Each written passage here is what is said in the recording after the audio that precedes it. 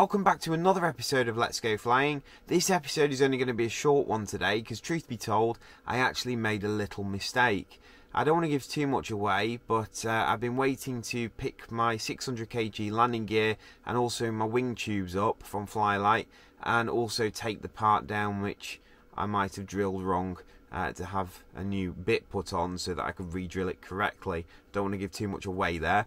Um, the next episode is going to be a slightly longer one because obviously that's the one that I make the mistake in. I want to highlight that mistake for other people.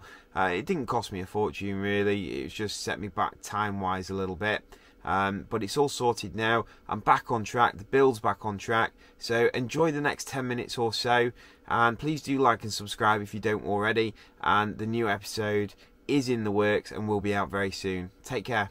Right, picking up where we left off from yesterday. Well, I do tell a slight fib there. Um, I have just fitted the uh, pulley system here and the flap lever, which was a pig to fit. There we go. No, it wasn't that bad to be fair. It was, it was okay. It was just about getting these spaces right in here getting everything bob on so it all fits perfectly, which it now does, I think. I don't think I can get anything else in there. it should all tighten up anyway. Yeah, that should be bob on that, to be fair. So, that's that. Now then, the job of the day today is to give the plane some wheels. So let's see how that goes, shall we? The wheels, apparently, are in this box here. So it's time to see what's inside box number four. Not been in there yet. Should always be careful opening stuff with a knife like that. Just in case you nick anything. Wait, Nick.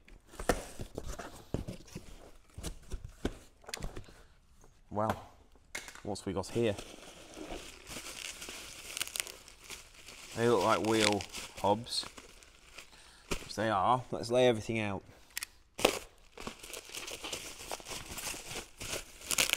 You do have to be quite accurate when you're slicing stuff open. You don't want to leave giant scratches down it. So we've got that. Looks like a hub.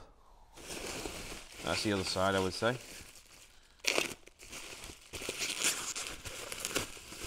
Um, if something does get damaged or lost or whatever, um, most stuff I think Paul can send out, providing it's uh, nothing too heavy. So here we go tyres. We've got one. Oh, looks like brake disc. One brake disc. Two tyres. They smell so new. They do, don't they? Yeah. Oh, look. Three tyres. Oh, yeah, of course. It's a plane. oh, I was expecting less than three. Um, what's this? Looks like so that's that's what I call thoughtful. That they even send you something so that you can bleed the brakes with. Now I'd actually bought exactly one of these, very similar, um, to do the job, but uh, I didn't think for a moment they'd actually send you the kit to do it with. That's pretty cool, and just another little nice little flylight touch there. In a tube,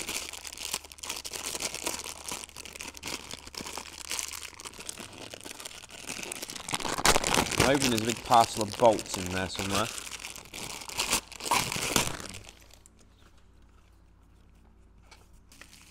Can't get in it.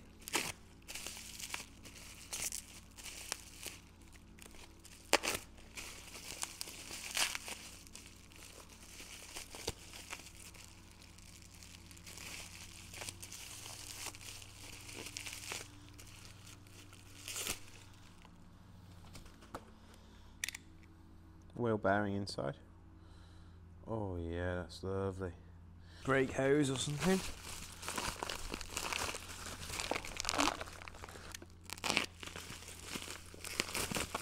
Just be very gentle with this stuff. As you open it, I think that's brake fluid. Certainly don't want that in my lap. Honestly, it's nasty stuff. Really nasty. Brake fluid. Ugh.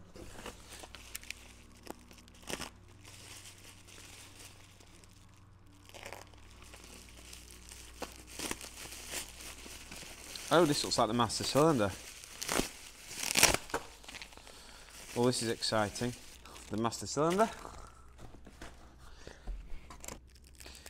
This looks like brake discs. Or, sorry, brake um, calipers. Oh, these are a decent size. They're a bit bigger than uh, on the C42.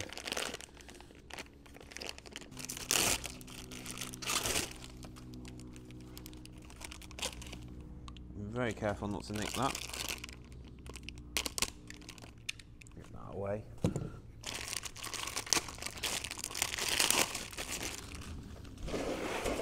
And let's try and remember where Stanley is, shall we? Okay, so we've got three in here.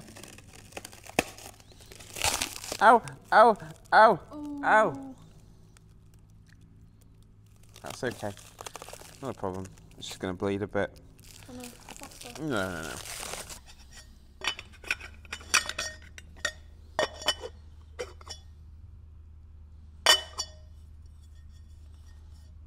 That's how they go out.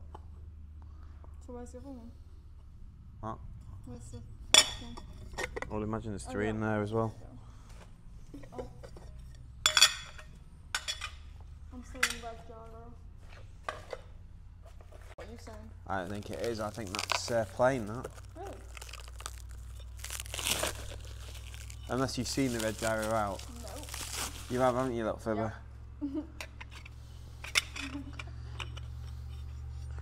yeah, he's spooling up there. Okay. The first job here was to assemble the wheels, um, which I'm just uh, finishing the second one now. Um, they are split rims on the Skyranger. So, the brake disc over here, uh, the hub in the middle, um, well, two halves of the hub there, um, and uh, and then you pump it up basically, make sure nothing's trapped. Um, otherwise, that's a problem, and it will explode.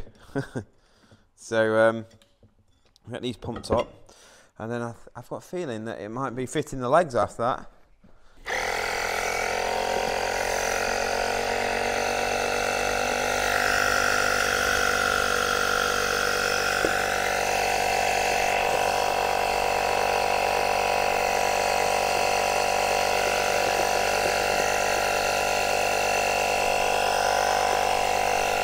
There we go. So we just got to let that come up to uh, 26 psi now. Um, and then whilst it's doing that, start building the other hub, uh, other wheel. Sorry. Well, I managed to not bring a spare SD card with me today, uh, but I'm going to give you an update now. Where we're up to. Um, so We've got wheels for starters. Yeah, that's the main thing. I completely missed that. Uh, and we've also got temporary 450 kg legs as well. Um, the plane's kind of just hovering on two of the uh, uh, two of the trestles at the moment. Um, so I fitted those, the wheels, and we've got uh, front wheel, nose wheel. We've got the suspension, is it? I guess set up there, um, or shock absorbers, whatever they are and uh, nose wheel steering bar here, which I'm just setting up now, which links to the um, uh, rudder pedals or steering pedals, way you want to say it. And uh, that's that. So it's very exciting. I um, I'm pretty tired, been here all day, but I'm enjoying it, and I don't feel like I'm rushing it. Um, by far, the trickiest thing today was the um, flap lever, uh, which was a pain, just trying to get everything in the right order. Uh, followed by the legs. Again, if you fit them how it says in the manual, you won't have a problem. You've got to get this uh, loop on first here, and then this clamp here. And obviously, it fits like this. So that's it. I'm running out of time. I've got nine seconds left. So from me here at Ashcroft, thanks for watching and I'll see you next time.